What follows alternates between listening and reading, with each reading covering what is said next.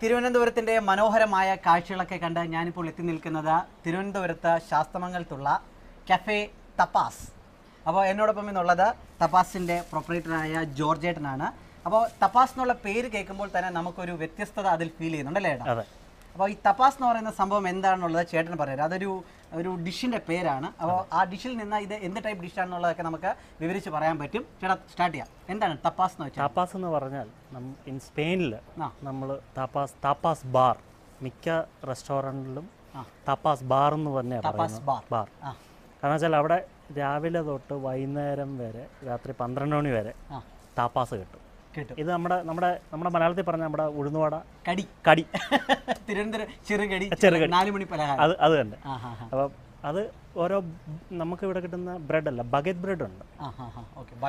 ബഗത് ബ്രെഡിന്റെ നീളമുള്ള അറിയാം? ബഗറ്റ് ബ്രെഡിന്റെ മേളിൽ ഓരോ ടോപ്പിങ്സ് പോക്കാകാം ചിക്കൻ ഹോ ഫിഷ് ഓക്കെ ആ പോക്കാകാം ചിക്കനാകാം ഫിഷാകാം പലതരത്തിൽ നൂറ്ററുപത്തെട്ട് തരം താപ്പാസ് ഉണ്ട്. ഈശ്വര നൂറ്ററുപത്തെട്ട് തരം താപ്പാസ് ഉണ്ട്. ചില ബാർ ചില താപ്പാസ് ബാറിലേക്ക് നമ്മൾ കയറി ചെന്നാൽ അവിടെ ഇങ്ങനെ താപ്പ് താപ്പാസ് ഇങ്ങനെ നിരത്തി വെക്കാം. നമുക്ക് you can go and choose ഏതാ വേണ്ട ഏതാ വേണ്ടതെന്ന് വെച്ചാൽ. എനിക്ക് തോന്നുന്നു അവിടുത്തെ ഒരു ദേശീയ ഭക്ഷണമാണല്ലേ? അതെ, സ്പെയിനിലെ? അതെ. ആ അപ്പോൾ സംഭവം എത്തിക്കഴിഞ്ഞു. അപ്പോൾ ഒരു സ്പാനിഷ് റെസ്റ്റോറന്റ് അതായത് സ്പെഷ്യാലിറ്റി സ്പാനിഷ് റെസ്റ്റോറന്റിലാണ് എനിക്ക് തോന്നുന്നു first of its kind in Kerala അല്ലേ? ആണെന്നാണ് തോന്നുന്നത്. ആണെന്നല്ല അത്. ഉറപ്പാണ്. ഒരു പക്ക സ്പാനിഷ് റെസ്റ്റോറന്റിലാണ് എത്തിയിരിക്കുന്നത്. നല്ലൊരു ആംബിയൻസ് ഒക്കെയാണ്.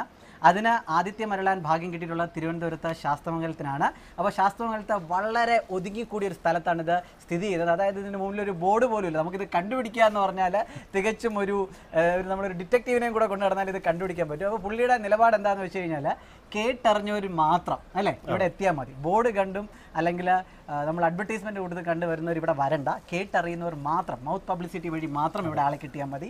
ഒരു വളരെ ഡിഫറന്റും അതുപോലെ തന്നെ ചലഞ്ചിങ് ആയിട്ടുള്ള ആറ്റിറ്റ്യൂഡാണ് അപ്പോൾ ഇന്ന് കഫേ തപാസിൽ നമ്മൾ ചെയ്യാൻ പോകുന്നത് സ്പെയിനിന്റെ ഒരു ദേശീയ ഭക്ഷണം തന്നെ നമുക്ക് പറയാം അല്ലേ? എന്താ സംഭവത്തിന്റെ പേര്? പയ പയയ. അത് പറയാൻ കുറച്ച് ബുദ്ധിമുട്ടാണ്. നമ്മളെ സ്പെല്ലിംഗ് എന്ന് പറഞ്ഞു കഴിഞ്ഞാൽ P E A double L A.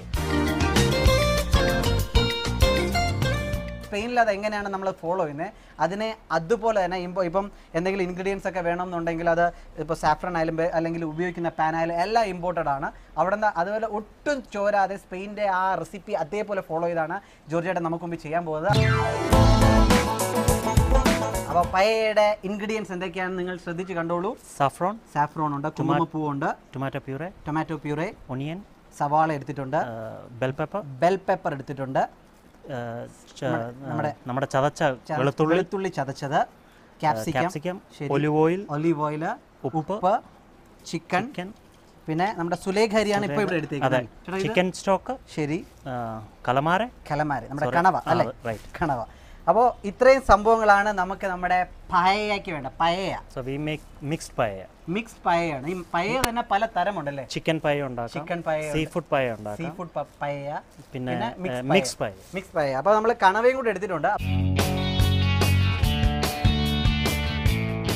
അപ്പോൾ ഈ പയ ഉണ്ടെങ്കിൽ നല്ല പശയുള്ള അല്ലെങ്കിൽ സ്റ്റാർച്ചുള്ള അരി തന്നെ സെലക്ട് ചെയ്യണം. അവിടെ അതിനായിട്ട് ഒരു പ്രത്യേക അരികളൊക്കെ ഉണ്ടെന്ന് പറയും. പക്ഷേ ഇവിടെ നമ്മൾ ഉപയോഗിക്കുന്നത് ഇവിടെ അവൈലബിൾ ആയിട്ടുള്ളത് സുലേഖയാണ്. അതാണ് യൂസ് ചെയ്യുന്നത് അല്ലേ? അത് മാത്രമേ ഉള്ളൂ എനിക്ക് കുറച്ച് കുറച്ച് ഒരു കേരള സ്റ്റൈലിലേക്ക് അത് വന്നു അതെ. വന്നിട്ടുണ്ട്.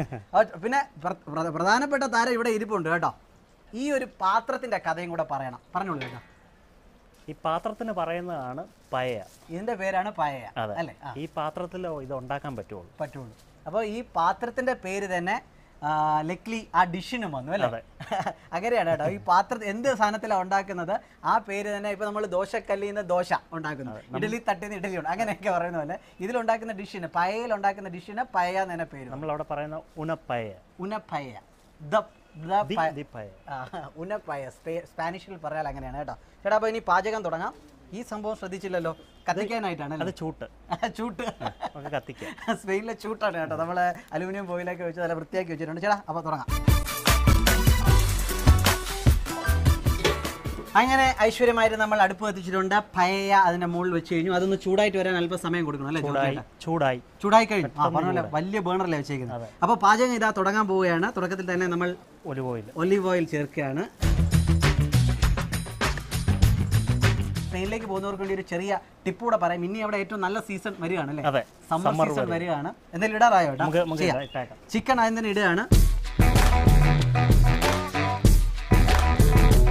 ഒരു ഒന്നര കിലോ ചിക്കനാണ് നമ്മൾ എടുത്തേക്കുന്നത്. ഒന്നര കിലോ കൊണ്ട് നമുക്കൊരു മൂന്നാൽ പേരെ നമുക്ക് ഫീഡ് ചെയ്യാം അല്ലേ? അല്ല അല്ല. നമുക്ക് ഒരു ഏഴ് പേരൊക്കെ ഏഴ് പേർക്കൊക്കെ ഫീഡ് ഒരു ഒന്നര കിലോ കൊണ്ട് നമുക്കൊരു ഏഴ് പേരെ വരെ നമുക്ക് തൃപ്തിപ്പെടുത്താം എന്നാണ് പറയുന്നത്. അതുപോലെ ഇത് ഫ്രൈ ചെയ്യുക എന്ന് പറഞ്ഞെങ്കിലും ഇത് ഒലിവ് ഓയിൽ കിടന്ന് ചെറുതായിട്ട് അതായത് ഒരു റോ ഫീൽ വേണം അല്ലേ? പിന്നെ ബാക്കി അത് റൈസിന്റെ അകത്ത് കടന്ന് അത് വേറെ ബാക്കിയുള്ളതാണ്. അതായത് ഒരുപാട് കളർ ചേഞ്ച് ഒന്നും വേണ്ട കേട്ടോ. ഇപ്പോൾ മുരിഞ്ഞൊന്നും കിട്ടണ്ട. ചെറിയൊരു റോ ഫീൽ തന്നെ അതിനെ ഒന്ന് റെഡിയാക്കി എടുത്താൽ മതി. അപ്പോൾ നമ്മൾ ചിക്കൻ എല്ലാം ഇട്ട് കൊടുത്ത് നന്നായിട്ടൊന്ന് നന്നായിട്ട് ഫ്രൈ ചെയ്യുന്നില്ല. ആ റോ ഫീലിൽ തന്നെ ഒന്ന് ചെറുതായിട്ട് സോട്ട് ചെയ്തെടുക്കുകയാണ്. ഇത് ശരിക്കും നമ്മൾ പയ ഉണ്ടാക്കുന്നത് ഈ സ്റ്റൗവിലല്ല ഉണ്ടാക്കുക. അല്ല. ശരിക്കും നമ്മൾ വെളിയിൽ നമ്മുടെ നാടൻ അടുപ്പ് കൂട്ടിയാണ് ഈ സാധനം ശരിക്കും ഉണ്ടാക്കേണ്ടത് ശരിക്കും ചെയ്യേണ്ടതെന്ന് പറഞ്ഞാൽ നമ്മൾ ഒരു അടുപ്പൊക്കെ കൂട്ടി വിറകിലാണോ? വിറകിൽ വിറക് എനിക്ക് തോന്നുന്നു ഞാൻ വായിച്ചറിയാം. അതായത് ഓറഞ്ചിന്റെയും പൈന്റെയും വിറകാണ് യൂസ് ചെയ്യുന്നത് അല്ലേ? എന്നിട്ട് അതിന്റെ ഈ ഓറഞ്ച് ഓറഞ്ച് മരത്തിന്റെയും അതുപോലെ തന്നെ പൈന്റെ ഒക്കെയാണ് തടികൾ യൂസ് ചെയ്യുന്നത്. എന്നിട്ട് അതിൽ നിന്നുള്ള മണവും കൂടെ ഇതിന്റെ ആ ഡിഷിനെ സ്വാധീനിക്കും അല്ലേ? അതെ. അങ്ങനെ ഒരുപാട് കഥയുണ്ട് ഈ പയയ്ക്ക് പിന്നിൽ പിന്നെ നമ്മുടെ ഈ ഒച്ചസ് സ്നെയിൽസ് ഒക്കെ വെച്ച് ഇവരുണ്ട് ഉണ്ടാക്കുന്നു ഉണ്ടാക്കുന്നുണ്ട് സ്നെയിൽസ് ഒക്കെ വെച്ച് ഉണ്ടാക്കും. ഇതൊക്കെ ഓരോ റീജിയൻ വൈസ് ആണ് അത് പോകുന്നത്. ഞങ്ങൾ ബാഴ്സലോണയിൽ നമ്മുടെ സ്റ്റൈലുണ്ട്. നമ്മൾ വാലൻസിയയിൽ വാലൻസിയുടെ അവരുടെ സ്റ്റൈലുണ്ട്. പുള്ളി പുള്ളിക്കാരൻ അവിടെ സ്പെയിനിൽ ബാഴ്സലോണയിൽ സെറ്റിൽഡ് ആണ് കേട്ടോ. അപ്പോൾ ബാഴ്സലോണ എന്ന് പറഞ്ഞാൽ നമുക്ക് എല്ലാവർക്കും അറിയാം നമ്മുടെ മെസ്സിയൊക്കെ കളിക്കുന്നത് ഈ ബാഴ്സലോണയ്ക്ക് അവിടെ പറയുന്ന പേര് ഇത് ഞങ്ങൾ കത്തലൂണിയ എന്നും പറയും. കത്തലൂണിയ. അതിനൊരു പ്രത്യേക ഭാഷയുണ്ട്. അതെ കത്തൽ കത്തലൂൺ. കത്തലൂൺ ഭാഷയുണ്ട്. അപ്പോൾ കത്തലൂണിയ എന്ന് പറഞ്ഞ സ്ഥലത്താണ്. അപ്പോൾ മെസ്സിയെ കളികളൊക്കെ നേരിട്ടായി കണ്ടിട്ടുണ്ട്. നമ്മൾ കുറച്ച് ഉപ്പങ്ങ ഇടാം. ആ പാകത്തിന് ഉപ്പ് ചേർക്കുകയാണ് ഇപ്പോൾ